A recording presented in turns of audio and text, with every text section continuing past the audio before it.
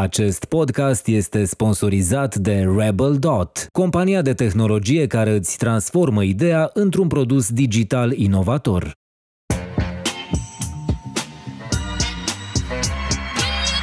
On Campus Salutare, dragi prieteni! Bine ați venit la un mult așteptat episod din On Campus. Îl avem alături de noi din nou, la cererea dumneavoastră, pe domnul profesor Mircea Micle. Domnul profesor, bine ați venit! Mulțumesc tare mult de invitație, Vlad. Vă Bine mulțumesc ați tare venit. mult. Mulțumesc tare. Vă mulțumesc că ați acceptat invitația noastră de a reveni, dar mai ales invitația publicului și uh, sărim direct în a continua de unde am rămas data trecută, fiindcă tot ce am discutat noi și mai multe s-au întâmplat de acum un an de când am văzut. Și continuăm cu subiectul economia cunoașterii, modul în care lucrăm împreună, modul în care oamenii colaborează, dar am vrea să mergem puțin mai departe. Momentan uh, ne aflăm în acel trend pe care l-am anticipat cu toții a muncii hibride, a flexibilității și avem uh, din nou fani ai muncii la distanță, fani ai biroului și uh, indeciși, schimbări care s-au produs pe care nu le-am putut anticipa și această decuplare a muncii din domeniul cunoașterii de proximitate continuă să genereze alte schimbări pe care încă nu le cunoaștem. Cum credeți că vor aborda liderii în continuare acest context și credeți că ne îndreptăm spre o economie mai fluidă în care companiile își pierd din structură și munca devine mai project-based decât uh, o chestie coezivă? Cred că e un principiu esențial la care trebuie să ne gândim cu toții. Mediul în care trăim este din ce în ce mai volatil. Nu? Dacă am învățat ceva din ultimii ani, am învățat că nu mai putem prezice pe termen lung nimic. N-am putut prezice pandemia, n-am putut prezice războiul, deci hai să învățăm măcar un lucru, că predicțiile pe termen lung sunt imposibile sau sunt ca un fel de gambling, dăm cu banul și iese ceva. Ei, Așadar, evident că mediul este foarte volatil și atunci ce se face într-un mediu volatil? Într-un mediu foarte volatil, ca să te adaptezi la acest mediu foarte volatil, cred că trebuie să faci două lucruri.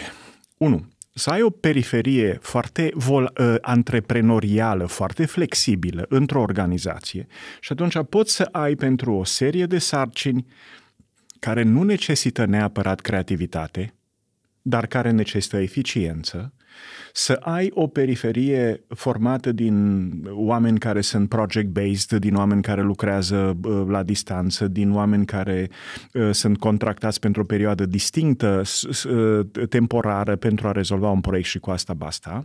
Aceasta este o periferie care este foarte flexibilă, pe care o poți utiliza la, în funcție de cum evoluează mediul, dar în același timp cred că îți trebuie un nucleu foarte stabil într-o firmă.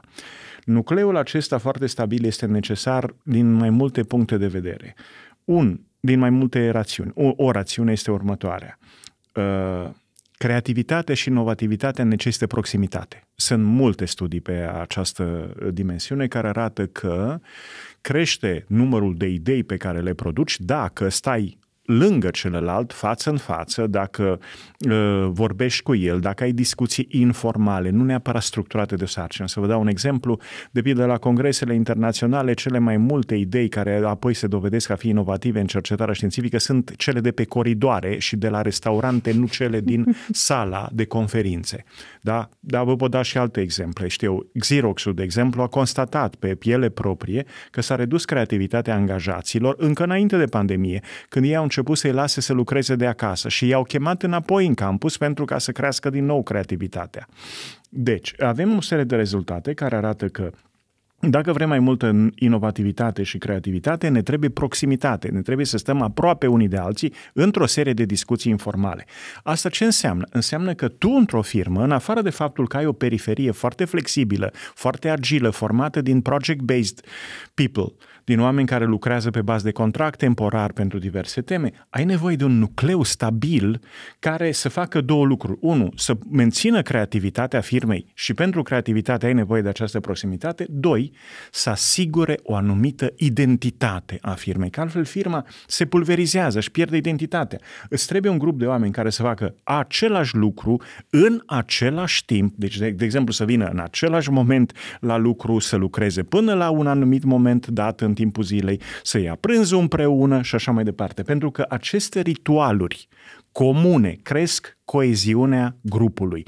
Face dintr-o mulțime de oameni un grup.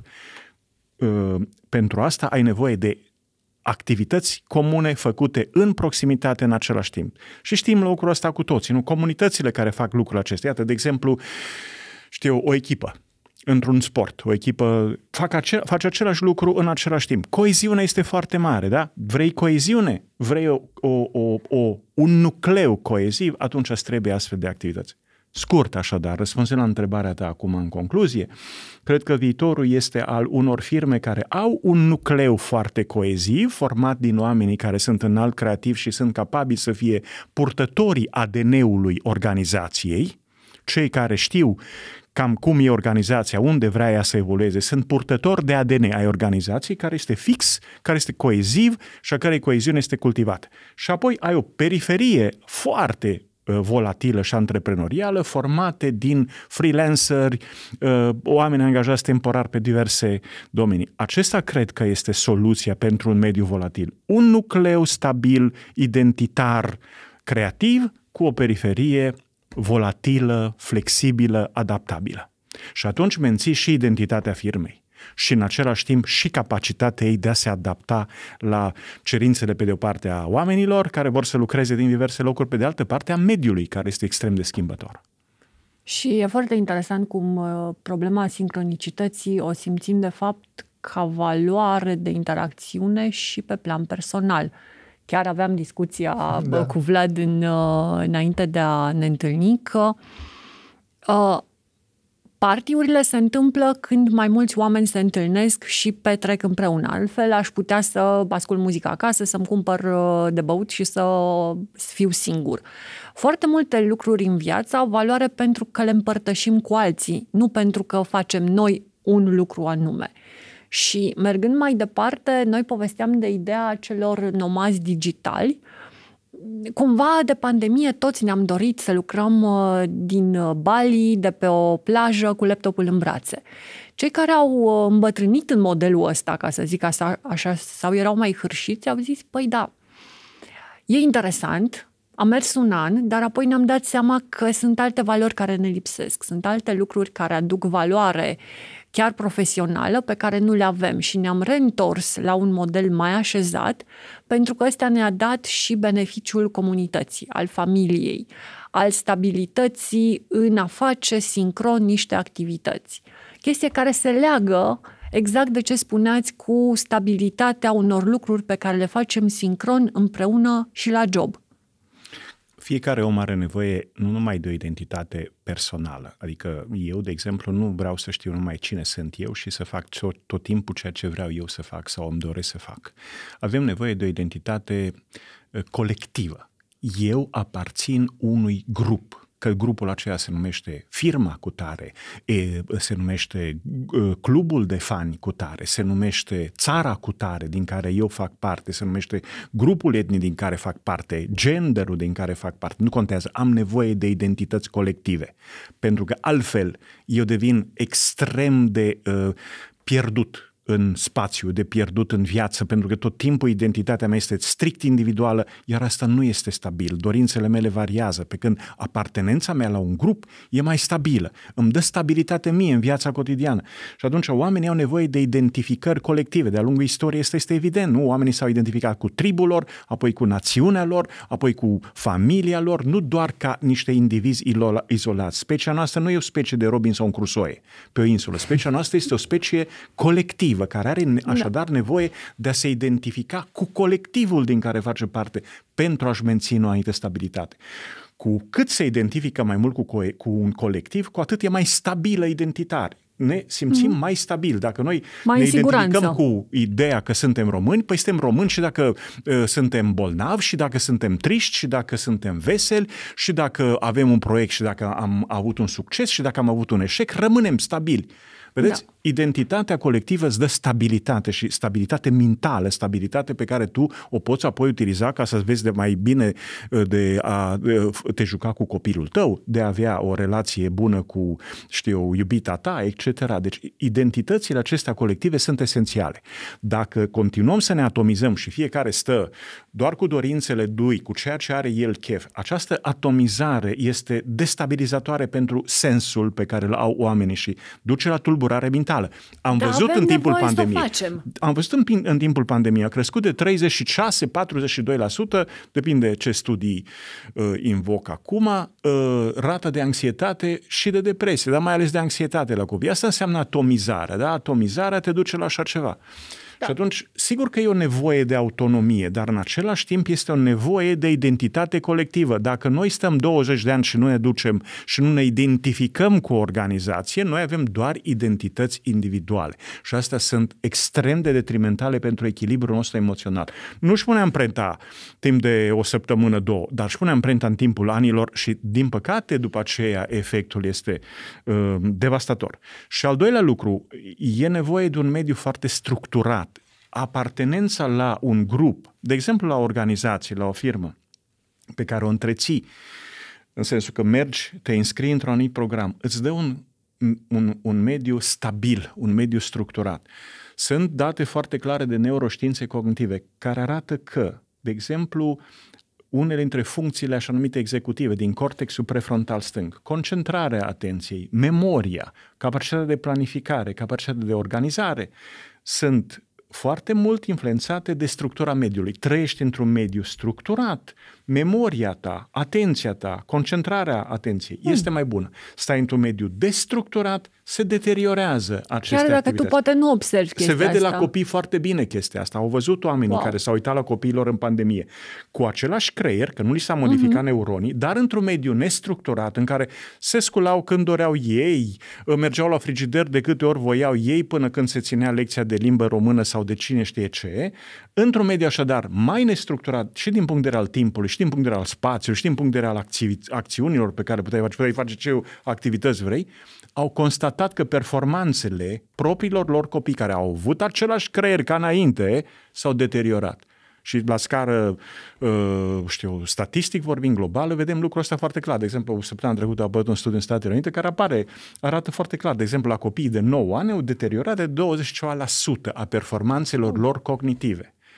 Prin urmare, ce vreau să vă spun este că avem nevoie câteodată, ca să avem ordine în minte, de a trăi într-un mediu ordonat, de a, așadar de a avea o ordine a zilei, când ne sculăm, când mâncăm, când plecăm, când facem cu tare sarcină, de ordine a spațiului, unde anume stăm, cum anume stăm, de ordine a interacțiunilor, când interacționăm cu copilul, când interacționăm cu colegul de muncă, toate astea sunt structuri. Având un mediu structurat, mintea noastră devine mai structurată. Câteodată structura din interior este internalizarea structurii în afară. Într-un mediu destructurat, mintea se destructurează și sunt multe exemple care arată că dacă trăiești, repet, mai multă vreme, mai mulți ani, într-un mediu nestructurat, la un moment dat, capacitatea ta de a-ți planifica viața se reduce. Da? După ce stăm multă vreme într-un concediu prelungit, din păcate nu prea avem șansa asta, dar să, câteodată, așa, odată Luăm la o 15 lună. ani, poate, da.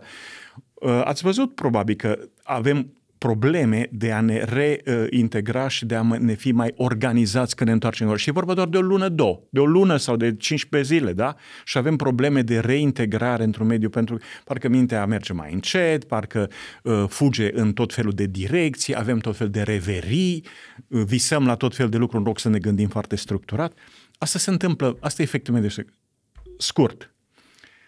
Mediul are impact asupra funcționării mentale apartenența la o organizație, apartenență care trebuie cultivată, e necesară nu numai pentru organizația respectivă să-și păstreze identitatea, e necesară pentru individ ca să devină mai stabil emoțional și pentru ca să-i funcționeze mintea mai bine. Punct.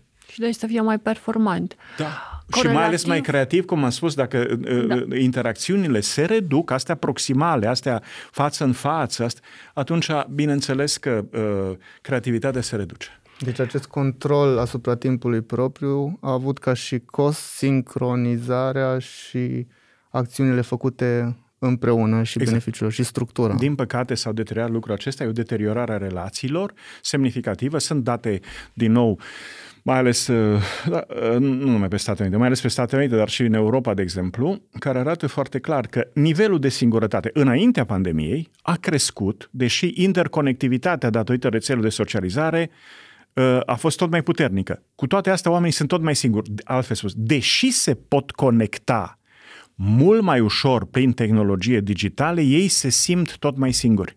Pentru că ai nevoie de aceste interacțiuni proximale ca să nu simți singurătate așa de mult, ai nevoie de sharing, de a împărtăși lucrurile, ai nevoie de ritualuri comune, de a face același lucru în același timp, pentru ca să-ți crești o identitate. Haideți să vă dau un exemplu. Toți am trecut prin liceu avem o identitate de generație. Ne întâlnim câteodată și după 10 ani. Nu ne întâlnim de 10 ani a generației da. noastre, de 20 de ani a generației noastre. Noi se întâlnim și după 40 de ani. De ce? Pentru că au o identitate de generație. Clasa noastră. E o identitate colectivă, nu individuală. De ce au această identitate colectivă? Pentru că au făcut același lucru în același timp patru ani de zile. Și asta i-a făcut să aibă identitate atât de puternică că se revendică mereu ca fiind eu cel care am stat în clasa cu tare, în anul cu tare, generația cu tare și ține identitatea Chiar asta și după 40 de ani. Wow!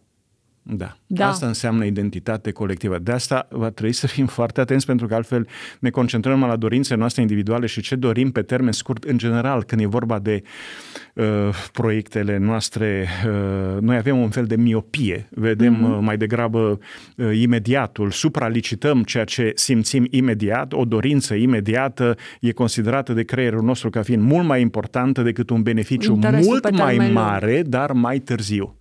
Așa da. e mintea, așa e formată ea.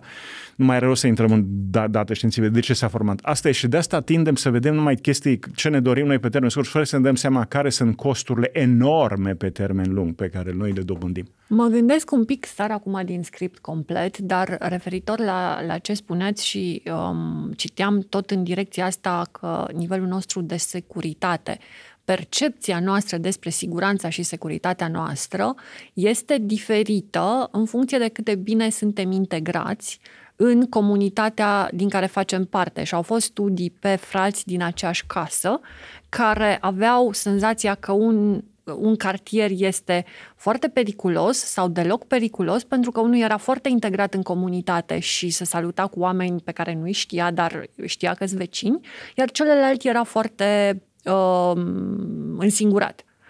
Și mă gândesc, apropo de sărit din uh, direcția discuției noastre, dacă tot ce se întâmplă pe plan global în ultimele luni, toate suprapolarizările astea, toată senzația de incertitudine pe care o avem și de atac direct când se întâmplă tot felul de chestii internaționale, nu vine și din această uh, atomizarea noastră și în această tot mai puțină integrare în comunitate. Este clar. În ritualuri care Suntem ne... tot mai vulnerabili pentru da. că suntem tot mai atomizați.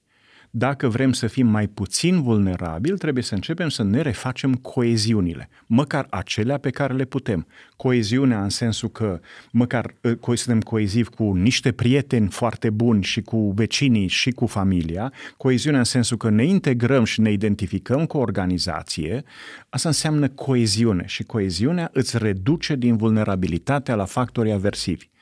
Uh, și din nivelul de anxietate Indiscutabil. Inerent. Uh, să vă dau un exemplu din nou din științele cognitive aplicate, din neuroștiințe cognitive, proximitatea reduce semnificativ anxietatea, se poate vedea pe înregistrările de EEG, de exemplu, sau pe alte metode, prin uh, tomografie computerizată sau prin rezonanță magnetică. Simplu fapt că ții pe celălalt de mână Uh-huh. Dacă înregistrezi activitatea bioelectrică din cortexul cingulat anterior, apare o stare de relaxare pe care o poți citi pe aceste înregistrări. Deci nu e joacă, nu e, nu e doar o, o senzație subiectivă. Se poate dovedi obiectiv că proximitatea, în cazul acesta, o atingere, este anxiolitică, reduce din neliniște, din nesiguranță, reduce în general din vulnerabilitățile noastre la dezechilibrele emoționale. Coeziun, un grup coeziv este întotdeauna mai rezilient decât o mulțime de indivizi necoezivi. Am avut discuții cu lideri din proximitatea mea și din comunitatea mea, chiar după primul nostru episod în care ați chiar ați sugerat ca coeziunea și acțiunile comune să fie încurajate în continuare, chiar dacă există această flexibilitate, deci să avem plusurile din ambele lumi. Și pe parcursul anului acesta am văzut două abordări. Unii au fost liderii care au făcut exact asta, deci au oferit oamenilor flexibilitate, dar au setat niște puncte de întâlnire, niște momente de coeziune. Spre exemplu, am auzit un lider care a zis, noi luni și miercuri ne vedem la birou, în rest merge cine vrea, când vrea, whatever. Dar am văzut și alți lideri indeciși care au abordat problema din acea miopie de care spuneați, ok, aici e o oportunitate de recrutare, eu nu pot să impun nimănui anumite momente de coeziune, fiindcă poate ei nu vor aceste momente și atunci eu trebuie doar să ies în față să spun, băi, poți să vii sau să nu vii când vrei la birou. Și acestor lideri le-am răspuns, ok, dar biroul tău e semi-useless, e un loc în care poți să lucrezi alături de alte cafenele sau locuri, nu îl folosești la adevăratul potențial de a face lucruri împreună. Și acum mi-a spus în pagină chestia asta și aș vrea să o repet pentru acei lideri cu care am povestit subiectul. Da, eu uh, aș sublinia încă o dată, Vlad, că uh, este și în interesul fiecărui individ în parte. Eu sper ca oamenii să se gândească foarte bine la ce li se va întâmpla lor dacă continuă să uh, funcționeze, să trăiască atomizați ei vor pierde o serie de competențe, inevitabil se pierd, un lucru neexersat se pierde, competențe legate de comunicare socială, de interacțiune, de rezolvare de conflicte proximal, cum să rezolvi un conflict cu cineva cu, cu care ai indiferendum, dar uitându-te la ochii lui și uh, uh, fiind el la o atingere de braț, o întindere de braț de tine. Se pierd competențele astea socio-emoționale esențiale. Poate să spună fiecare dintre acești indivizi că nu ne inter- nu interesează. Bun, dar dacă ai un copil care are o astfel de problemă la școală, tu ce competență ai să-i dai un sfat? Să-i spui cum să rezolve un conflict pe care îl are cu colegul de bancă, din moment ce tu habar n-ai cum se rezolvă un conflict proximal.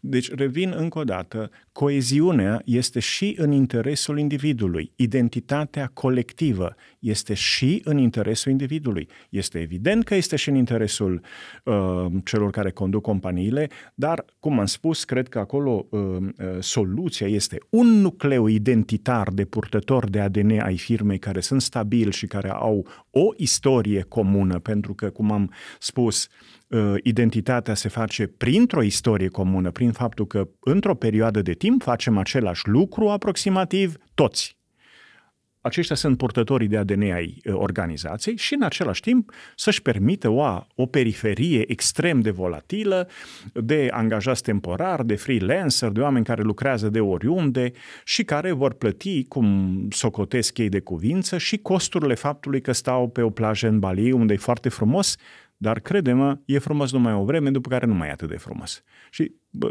știm asta. Sunt studii, de exemplu, da. pe, pe concediu, nu pe calitatea concediului, care arată că dacă Concediu este prea lung, deci sigur în primele zile de concediu și încă aproximativ 3 săptămâni, calitatea vieții, well-being-ul crește odată cu faptul că stai în um, concediu respectiv. După aproximativ 3 săptămâni, calitatea vieții, well-being-ul, starea de bine pe care o simți nu mai crește, ajunge la un platou, după care începe să scadă. Creierul e făcut în așa fel încât să perceapă diferențele.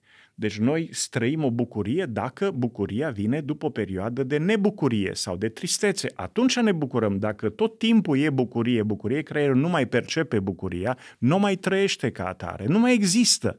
Experiența aceasta nu mai există. Dacă noi ne teleportăm acum în, în paradis, ne vom bucura foarte tare. Dar după o vreme vă garantez că nu o să mai avem niciun fel de bucurie, pentru că creierul nostru rămâne același. Creierul este făcut ca să perceapă diferențele, nu se, percepe, nu se perceapă continuitățile. Așa ai făcut creierul, tocmai ca să se adapteze la mediu. O diferență, o schimbare de mediu este mai relevantă pentru coordonarea comportamentului meu decât o stabilitate a mediului. Dacă mediul este același acum ca și ieri, eu nu trebuie să fac altceva decât ce am făcut ieri. Deci nu merită să îl procesez foarte intens. Dar dacă mediul se schimbă, atunci eu trebuie să-mi schimb comportamentul. Și atunci creierul s-a dezvoltat de-a lungul uh, filogenezei să fie mai sensibil la diferențe decât la continuități. De la cel mai elementar nivel senzorial, de exemplu, ești mai sensibil dacă treci direct de la cald la rece sau de la rece la cald, de la dulce la sărat sau de la sărat la dulce, decât dacă ești doar pe dulce-dulce sau doar pe sărat-sărat sau doar pe frig-frig. Da? Așa e făcut de la nivel senzorial până la nivel mental. Suntem mai, mai uh, activi când auzim păreri diferite de ale noastre decât când auzim același lucru. Creierul e făcut ca să proceseze în primul rând diferențele. Când diferențele nu mai există și stăm în același loc, în același fel, având aceeași, aceeași dorințe, nu, se mai trăite, nu mai sunt trăite cu bucurie. Mereu am vrut să vă întreb despre asta. Uh, sigur, noi am ajuns la această atomizare prin atât datorită sau din cauza siguranței. Adică s-a întâmplat ce s-a întâmplat și am fost nevoiți să ne atomizăm. După, da. după care uh, a fost o, Vlad, aș menționa un pic, a fost o siguranță, sigur, a fost o siguranță sanitară. Ca să ne punem sanitară. la dăpost de un virus, a fost o siguranță sanitară.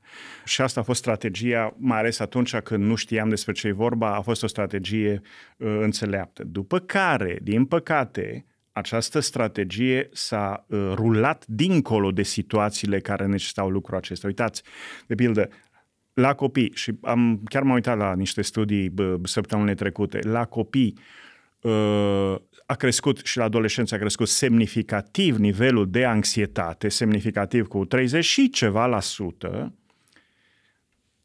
pentru că nu au mers la școală, au fost izolați. În schimb, nu există deocamdată nici o dovadă concludentă că există că au, au fost un risc mai mare de îmbolnăvire la cei care au mers la școală versus cei care au stat acasă sau că consecințele statului acasă au fost mai bune pentru ei și familiile lor decât pentru cei care nu au mers la școală. Vedeți? Adică o strategie care a fost adaptativă la un moment dat s-a rulat peste toate domeniile, pe toate situațiile, mult prea mult și au produs acum costuri clare. Acum știm clar apropo de copii și adolescenți, că neparticiparea la școală și ținerea lor izolați acasă le-a produs o creștere semnificativă a anxietății și nivelului de depresie, adică o deteriorare a echilibru emoțional. Care-i câștigul din punct de vedere al stării de sănătate? Deocamdată nu există. Sau nu avem date că el a apărut. Un, un, unde am vrut să zic e că, dincolo de asta, după ce am, cel puțin la tineri profesioniști din interviurile pe care le-am avut în studiile mele proprii, am pus pe seama culturii convenienței faptul că s-a perpetuat atomizarea și conveniență facilitată tocmai de tehnologie. Uh, acum știm cu toții, nu mai trebuie să ai skill-uri de navigație și orientare, că ai Google, nu mai trebuie să ieși la dating, că ai Tinder, nu mai trebuie să faci uh, nimic. Iar prorocii tehnologiei spun că pasul următor este metaversul. Adică nu are sens să ne mai întâlnim, să ne mai apropiem fizic, când în curând vom putea să trăim într-o lume paralelă facilitată de tehnologie. Unde vede Mircea Mic la intrarea în Matrix sau cum o vede? Sunt foarte curios. Ad. Uh, noi putem să schimbăm tehnologiile în foarte multe feluri și asta adesea e un lucru foarte bun și, repet, nu trebuie să contaminăm tehnologiile. Orice tehnologie este neutră. Ea poate să facă bine sau rău, dar asta ține de utilizarea tehnologiei. Tehnologiile, hai să luăm tehnologia nucleară, nu? E neutră din punct de vedere etic. Nu e bună sau e rea. Depinde cum o utilizezi. E bună dacă o utilizezi ca să produci curent electric pentru spitalele uh, care au nevoie de curent electric și pentru sele de operații. E rea dacă produci o bombă atomică. Dar altfel tehnologia e neutră și aceste tehnologii digitale și rețele de socializare sunt neutre. Ele însă devin bune sau rele în funcție de modul în care ele sunt utilizate. Acum, ceea ce cred eu este următorul lucru. Utilizarea acestor uh, tehnologii digitale, care, repet, altfel sunt neutre din punct de vedere etic, în, într-un mod inadecvat, poate să fie extrem de detrimentală.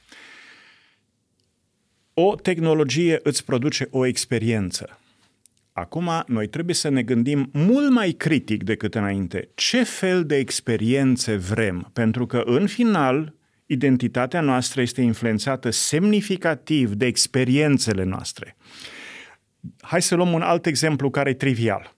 Eu pot să mă satur și dacă mănânc din brișcă la mine acasă, dar pot să mă satur și dacă mă duc la un restaurant unde muzica este de un anumit fel, oamenii mă servesc într-un anumit fel, am o anumită trăire a sentimentului că e ceva mai uh, fin, e ceva deasupra realității, îmi dă sentimentul de valoare personală, am o trăire.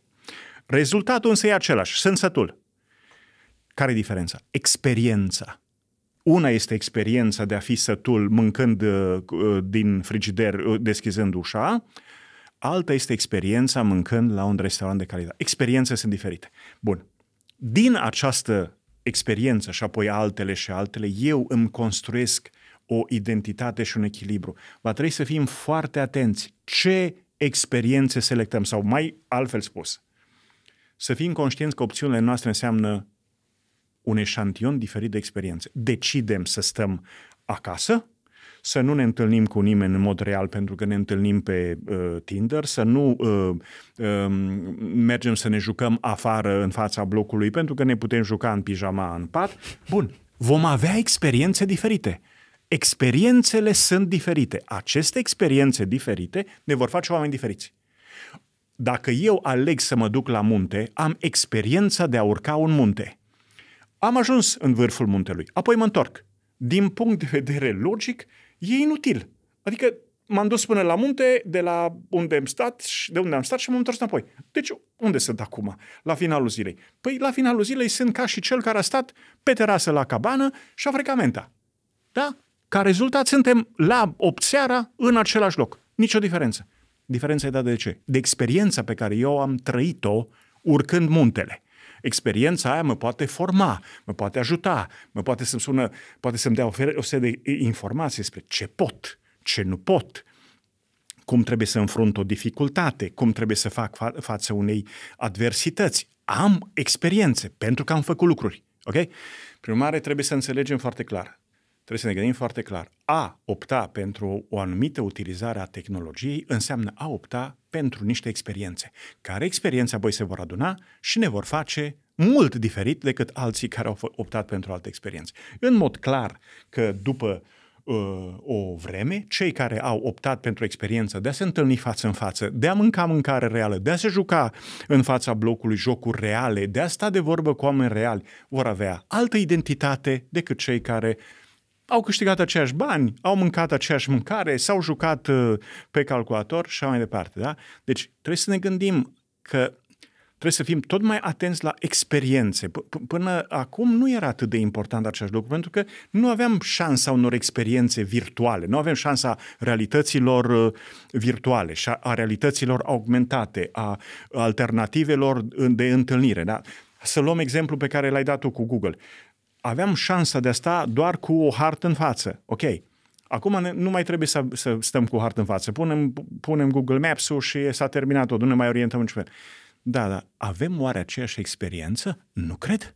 Experiența aceea de a te simți că ești pierdut și că totuși îți vine o soluție ca să găsești, acolo nu mai e nicio experiență. Este doar să urmezi mecanic ceea ce spune o voce care spune la uh, următorul sens girator, o las la dreapta și apoi la... Ce experiență e aia? Ok? Sigur, încă o dată avem printre libertățile noastre, trebuie să notăm libertatea de a ne alege experiențele. Așa că fiecare își va alege uh, eșantionul de experiențe pe care vrea. E liber. Unul să stea doar între patru pereți și să trăiască ca un atom și să, știu, să comande mâncarea prin uh, Glovo și să uh, se întâlnească pe rețea de socializare cu cineva și să se joace cu cineva pe un alt Ok, doar că e o, ă, asta e o serie de experiențe care îl vor face într-un fel. Punct. Va avea o anumită identitate datorită acestei serențe de experiențe.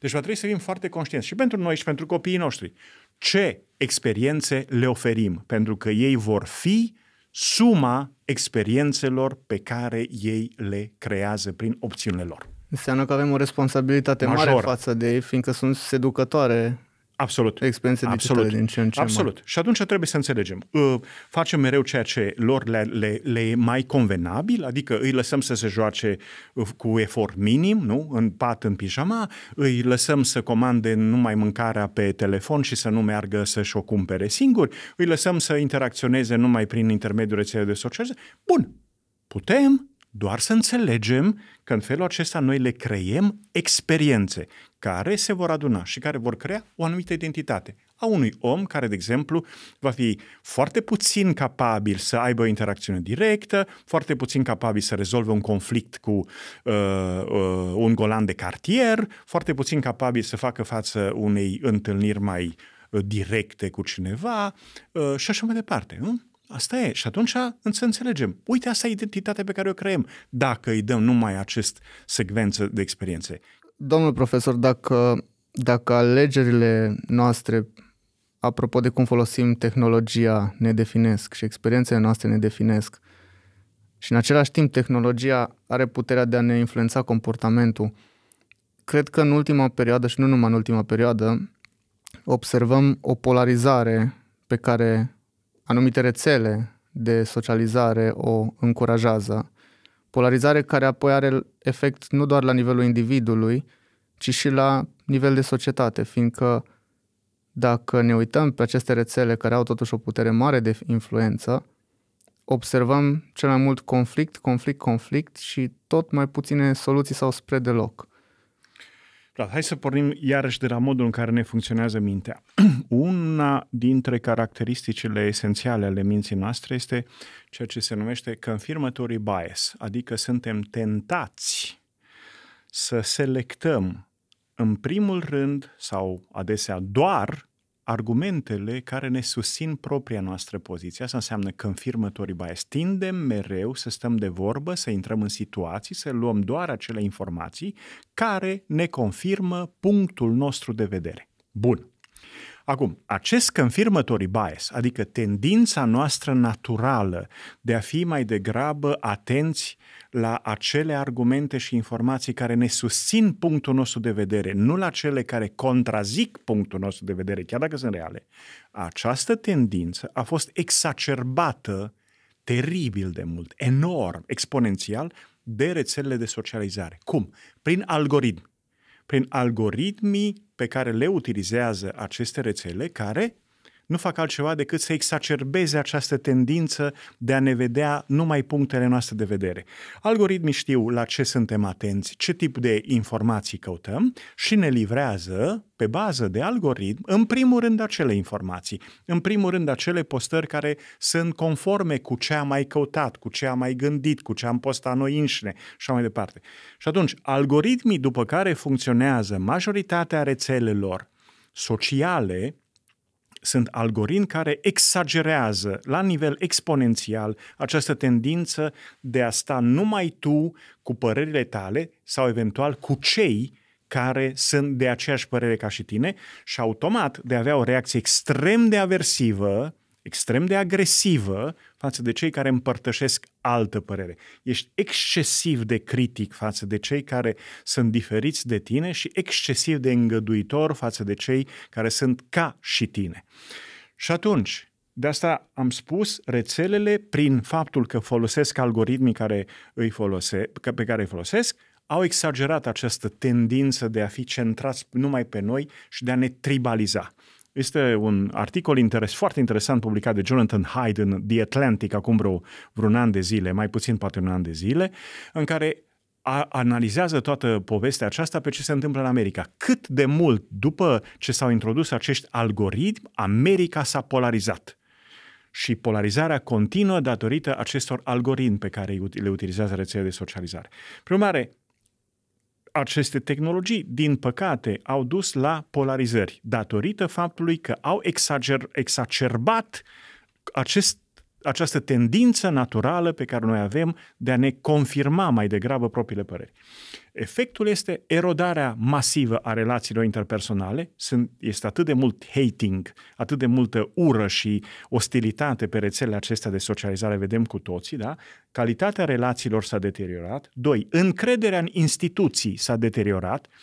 Adică oamenii nu mai au încredere în instituțiile care înainte erau, erau credibile. Uh, am văzut situații în care se e pus semn întrebării orice, inclusiv, ca să vă dau un exemplu concret, am avut un caz de chestiunea asta, câtă sare este pus în untul pe care îl servesc copiii la grădiniță. S-a făcut un grup a părinților care uh, au copiii la grădința cu tare, care au început să dezbate la un moment dat dacă untul e prea sărat sau nu e suficient de sărat și ce con- consecințe are asta pentru copii și că trebuie să ia poziție pentru ca să schimbe grădinița politică aceasta. Încep să subminezi orice instituție așa. Da? Deci această polarizare sub, subminează instituțiile. Dacă subminezi instituțiile, subminezi democrația, pentru că democrația funcționează pe baza unor instituții. Deci polarizarea duce la deteriorarea relațiilor interpersonale, uh, duce la lipsa de credibilitate a instituțiilor și duce la o relativizare a punctelor de vedere. Nu mai ai puncte de vedere stabile, nu mai ai nara- narațiuni uh, istorii, povești coezive în care să creadă toată lumea. Nu, fiecare crede în ce vrea narațiunea lui. Efectul este, cum arată și Jonathan Hyde în articolul acesta din The Atlantic, este că devenim o societate din ce în ce mai stupidă cu o tehnologie din ce în ce mai avansată. Uh, și asta este trist, da?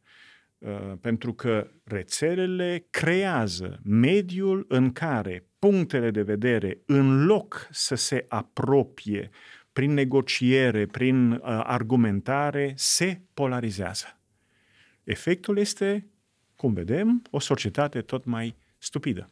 El spune despre Statele Unite, arată acolo punctual cât de detrimentală este această situație. Și poate o societate care asimilează opinia cu individul, adică din ce în ce mai mult ne supărăm pe prieteni și nu mai vorbim cu ei pentru că sunt uh, pro-Trump sau anti-vaccin sau știu și eu. Și noi suntem exact pe poziția opusă și ne întrebăm dar dacă tu crezi așa ceva, cum ai putea tu să mai fii în continuare apropiat Diferența mie? este percepută ca opoziție da. și, într-adevăr, opinia este considerată ca fiind uh, identitară pentru persoana respectivă și atunci crește agresivitatea față de un grup diferit de al tău, se numește outgroup, și da. crește da permisivitatea și toleranța față de prostiile pe care le spune propriul tău grup se numește in-grup.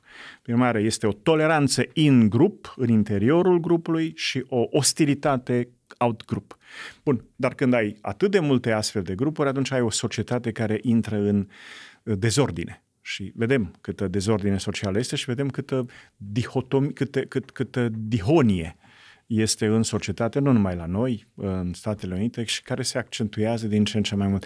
Și Jonathan Haidt chiar a, a spus, uh, momentul critic a fost în, 2000, în jur de 2013, 2012, 2013, când s-au introdus astfel de algoritmi, care nu au făcut altceva decât să maximizeze uh, exponențial tendința aceasta de a fi tentați mai degrabă să stăm cu acei oameni care ne confirmă, nu cu cei care au opinii diferite și să ne uităm doar la informațiile care ne confirmă punctul nostru de vedere și nu la celelalte, iar algoritmii au exacerbat exact lucrul ăsta. Ne dau ceea ce am mai consumat. Asta înseamnă algoritmii aceștia, da? Și asta a exagerat o chestiune care înainte era rezonabilă. Și atunci, întorcându-ne la liderii noștri și la managerii noștri de companii, ce șanse mai au în acest context? Să facă performanță, să uh, creeze produse, să fie inovativ și, practic, să um, aibă niște companii care um, au comunități în care oamenii să se înțeleagă împreună și să lucreze bine împreună, deși Uh, Maria de la uh, contabilitate nu are aceleași uh, vederi și valori ca și George de la Și vor fi IT. din ce în ce mai diferite cu cât se văd mai puțin. Exact. Stau mai puțin în proximitate. Nu? Exact. Lucrurile care la început sunt diferite, pe măsură se vor ce trece depărta. timpul din cauza că nu există interacțiuni suficiente, vor deveni nu diferite, opuse. Diferența devine opoziție. Ce șanse mai au liderii? Lideri de organizație, antreprenorii tot timpul vor crea soluții. Eu am toată crederea și asta înseamnă să fii antreprenor, să creezi soluții atunci când uh, toată lumea sau majoritatea, nu toată lumea, stă, uh, se dă pe spate și plânge pe bordură eventual și spune că nu mai există nicio soluție. Antreprenorii vin și spun, ba da, există o soluție. Care? Nu știm exact, dar o tot atonăm până când o găsim. Asta este hmm. scopul, asta este abordarea între România. N-am dubii că o să existe mereu astfel de oameni, tot timpul au fost de-a lungul istoriei și acum o să fie. Poate e o situație mai dificilă acum. O să găsească soluții, cum să facă față. Una dintre alternative, am schițat-o în, în anterior, de a crea organizații cu un nucleu de purtători de ADN ai organizației care sunt extrem de coezivi și acolo are loc și creativitate și novativitatea firmei și o periferie foarte versatilă și antreprenorială formată din freelancer și de persoane angajate temporar, dar sunt sigur că sunt și alte alternative prin care ei pot să depășească o astfel de situație mm-hmm. pe care este acum antreprenorii mereu creează soluții. Asta este ne bazăm rolul pe asta. lor, da, Așa să ne bazăm creștem. Pe, mereu o să găsească o soluție. Poate nu de la început, poate nu cea mai bună, dar o să găsească mereu o soluție. În final, nici filogeneza, nu? Uite, asta e un, un, un exemplu foarte uh, uh, bun aici. Uite. uh, mecanismul acesta filogeneză, de, filogenetic, de evoluție a um, speciilor, are misiunea de a crea mereu soluții. De a crea mereu soluții la un mediu foarte schimbător. Nu știe nicio specie cum va evolua mediul peste un an sau 10 ani. Și atunci ce face filogeneza? Dintr-un genotip, adică dintr-un pool de gene, creează mai multe fenotipuri alter, alterând, modificând ușor variantele. Da? Adică dintr-un genotip unic creează o diversitate de fenotipuri. Creând diversitatea, mediul schimbându-se, va selecta acea variantă, acea versiune care e cea mai adaptativă. Deci când nu poți prezice mediu ca să știi ce soluție să oferi acelui mediu, atunci creezi o diversitate, pentru că din diversitatea aia îți mărești șansele de a supraviețui într-un mediu impredictibil.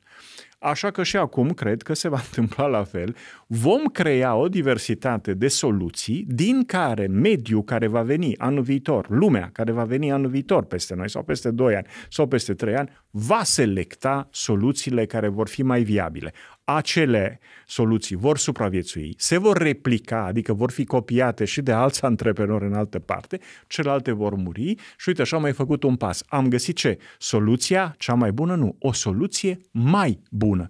Filogeneza nu înseamnă că găsești soluția cea mai bună, înseamnă că găsești o soluție mai bună. În traducerile uh, pe care uh, le-au făcut traducătorii în limba română, Uh, mă rog, câteodată și exprimările acelor care nu și-au, n-au citit cărțile lui Darwin. Știți că sunt mulți care citează, dar nu citesc cartea. Acolo se spune în, în, în cartea lui Darwin despre Eugen Asper, se spune The survival of the fitter, supraviețuirea celui mai adaptat, nu of the fittest, cel mai adaptat, pentru simplu fapt că filogeneza nu poate să spună ce e cea mai bună soluție, dar ea poate să creeze o soluție mai bună. Deci, uite așa, mergând pas cu pas din soluții din ce în ce mai bune, fără să sperăm că vom găsi soluția optimă, avansăm. Și acum cred că în, această, în acest purgatoriu în care suntem acum, vom găsi soluții mai bune anul viitor decât anul acesta. Acele soluții mai bune vor fi replicate, Uh, vor fi copiate de alții, se vor înmulți, apoi pe baza lor se vor crea soluții mai bune și uite așa vom găsi până la urmă drumul. Cred că e concluzia perfectă la acest episod și la sezon, de altfel. Da, de acord. Să avem uh, încredere în uh, capacitatea noastră nativă de, de a găsi evolua. soluții tot mai da. bune Ce? și de a ne uh, salva energia căutând ceva uh, extraordinar de bun. Ne trebuie doar ceva bun destul cât să ne ajute să mergem mai departe. Domnule profesor, vă mulțumim. Eu mulțumesc. mulțumesc.